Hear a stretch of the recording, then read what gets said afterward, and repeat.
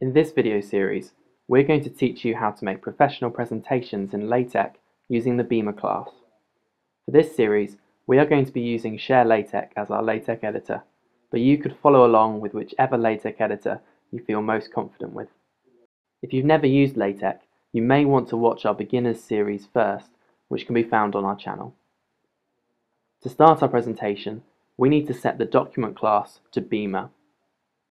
Next we'll select a theme using the Use Theme command. For our example, we'll use the Boadilla theme. We'll look at a number of different themes that can be used later on in the series. Now to complete the preamble, we'll enter title, subtitle, author, institute and date information.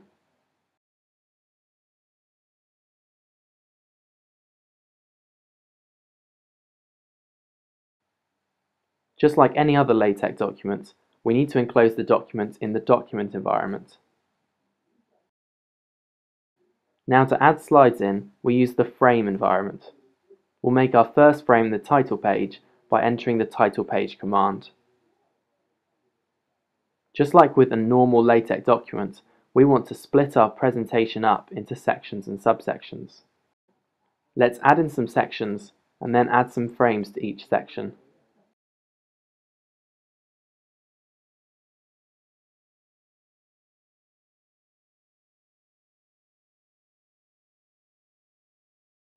Then we can give our frames titles using the frame title command and add in some text.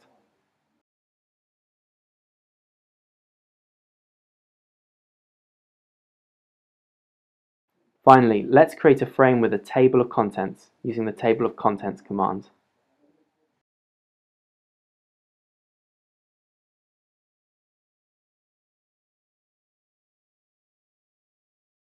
Now if we compile the code, we'll see that the information we added in the preamble has been neatly put together on the title page. We'll also see that the table of contents slide has automatically numbered the sections and displayed them along with their corresponding subsections. At the bottom of every slide, a bar has been automatically generated with the author name, institute, presentation title, date and frame number. To now show the presentation, we download the project, open it in a PDF reader and put it in a full screen view.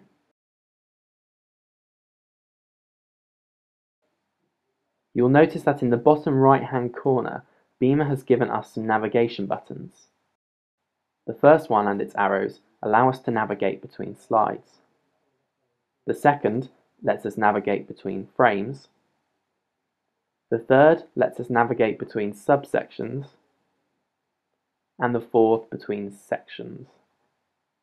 We'll talk more about the difference between slides and frames later in the series.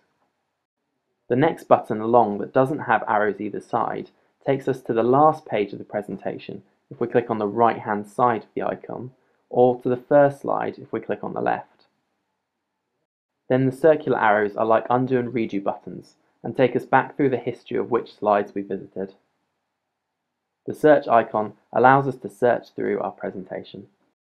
This concludes our discussion on setting up a basic presentation. In the next video, we'll look at adding different types of content to our slides. Please do subscribe to our channel by clicking the on-screen link and keep in touch with us via Facebook, Twitter and Google+.